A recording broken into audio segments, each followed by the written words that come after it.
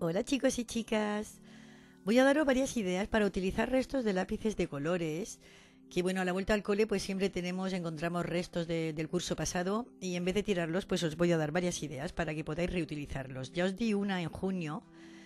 Hice un organizador de escritorio con una caja, reciclando cajas, rollos de, de papel bueno, aquí os enseño rápidamente lo que hice. Yo os dejaré el link por si queréis verlo más lentamente, pero forré una caja con papel que había pintado yo, puse rollos de papel dentro y luego le pegué por restos de lápices todo alrededor. Bueno, esto es una, una de las ideas, ¿vale? Que podéis hacer para un organizador de escritorio. Como os digo, os dejaré el link al final del vídeo para verlo tranquilamente si queréis. Y ahora os voy a dar otra idea para otra caja no de organizador, sino para poner pues lo que queráis, ¿vale? Pero siempre en vuestro escritorio o vuestro, vuestro despacho. Bueno, es una caja, pues bueno, he pegado todas las solapas de, la caja para que esté más fuerte y luego he cogido restos de vaqueros. Tengo muchos restos de vaqueros, para muchos vaqueros de mis hijos que ya no se ponen, entonces he cogido restos de vaqueros, eh, las patas, las piernas de los vaqueros. He intentado pues que la costura del lado quede, ¿veis? En la parte de arriba de la caja para que esté más fuerte. Eso la refuerza un poco más. Y lo que he hecho simplemente es con la pistola de silicona ir pegando todo alrededor, al exterior como en el interior. He ido pegando pues con trozos. No he podido hacerlo de una pieza entera, puesto que son restos. Pero bueno, he ido pegando, como veis, todo con la pistola de silicona. Una vez que haya pegado todo en el exterior y en el interior, con la tela vaquera, pues bueno, había juntas, digamos, en esta tela vaquera había como juntas de lo que había pegado que, no quedaba bonito, entonces voy a tapar todas estas juntas, las voy a tapar con, con los lápices. Entonces estos los voy a poner con la punta hacia adentro y necesitamos que este, este esté, las puntas estén muy bien talladas.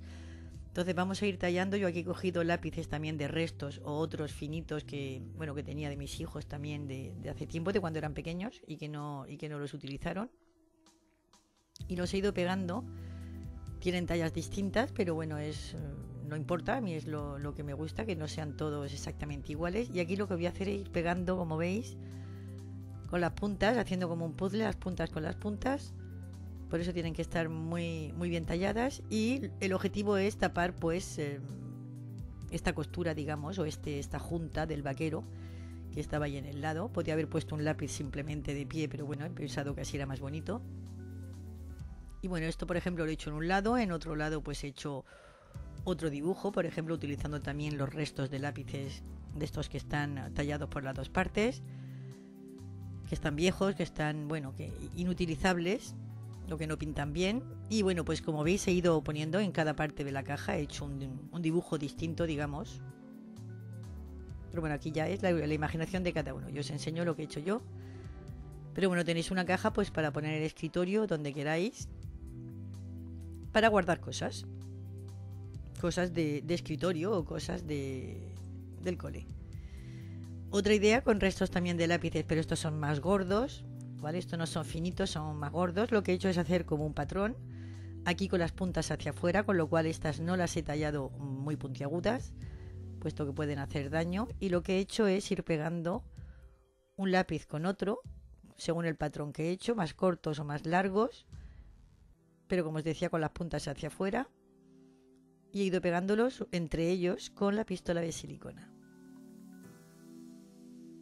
Pues, si queréis dejarlos así, pues vais combinando los colores que queráis. Yo como he tenido que hacer pues con lo que tenía, no tenía forzosamente los colores que yo quería, pues he ido pegando. Entonces si no tenéis los colores que queréis, pues podéis hacer lo que he hecho yo con este modelo, por ejemplo, escoger un aerosol plateado, en este caso, lo he pintado y luego pues sirve de posavasos, por ejemplo. Luego he cogido también, porque iba a coger lápices más pequeñitos, he cogido palitos de lado, los he puesto en plano y los he alineado bien. Los he unido con un poco de cinta adhesiva por una parte, para que no se muevan, les he dado la vuelta. Y lo que voy a hacer aquí es más o menos lo mismo que he hecho antes, pero pegándolos con la punta hacia adentro. Entonces aquí sí vamos a tallar bien las puntas, que estén muy bien muy finitas porque de esta manera nos coincide mejor esta especie de puzzle que hacemos para que encaje mejor la punta con la punta, ¿veis? Y se queda muy bonito. Esto podéis hacer lo mismo, podéis hacerlo y luego pintarlo si queréis o dejarlos tal cual. Pero aquí como son más finitos, Y para que esté más fuerte los he pegado sobre los palitos, en vez de pegarlos entre ellos, los he pegado sobre los palitos de lado. Podéis coger un trozo de cartón, un trozo de lo que queráis, ¿vale? Pero algo plano. Y la idea es ir pegando, pues eso, punta con punta hacia adentro para que encaje bien. Y bueno, el resultado es, es chulo.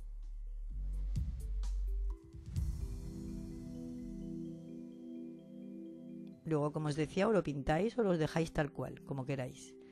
Una vez que están todos pegados, más largos y más cortos, puesto que son restos, he quitado el adhesivo por la parte de atrás, luego veréis que lo he pintado, los palitos los he pintado y lo que voy a hacer es darles una capa de barniz cola a todos, de esta manera se quedan más unidos, se queda más fuerte, están protegidos y bueno, se queda un acabado más bonito. Y una vez que esté seco, pues ahí tenemos un posavasos o para poner pues una jarra caliente, una olla, lo que queráis.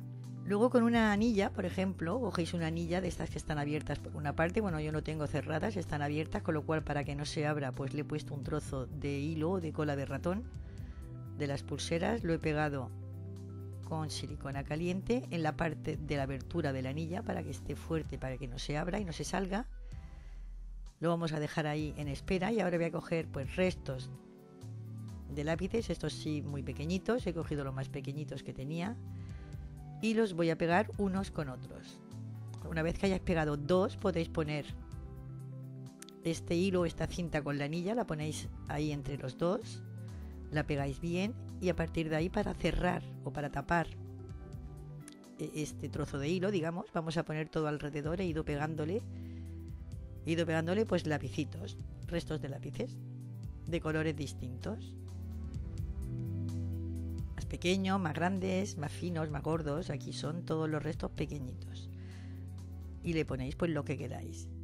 Y esto pues sirve de llavero para enganchar en la mochila de los niños, para abrir la mochila. Es mucho más fácil para, para abrir la cremallera de la mochila, por ejemplo.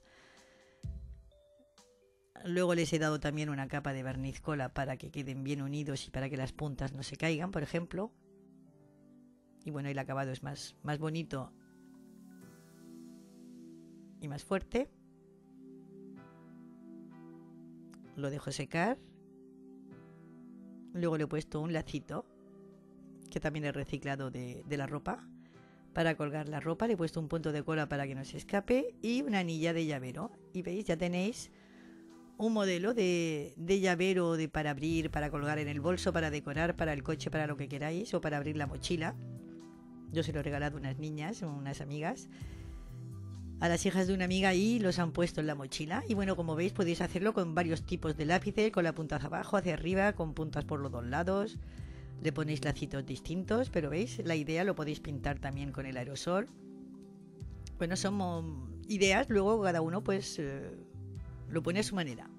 Pero la idea la base pues está, está chula para la vuelta al cole, para tener, poder abrir su mochila y para reutilizar los restos de lápices. Bueno, pues os dejo todo esto, espero que, que os guste.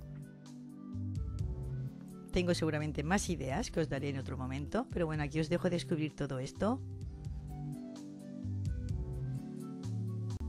No olvidéis suscribiros a mi canal y yo os espero en mi próximo vídeo. Adiós, hasta pronto.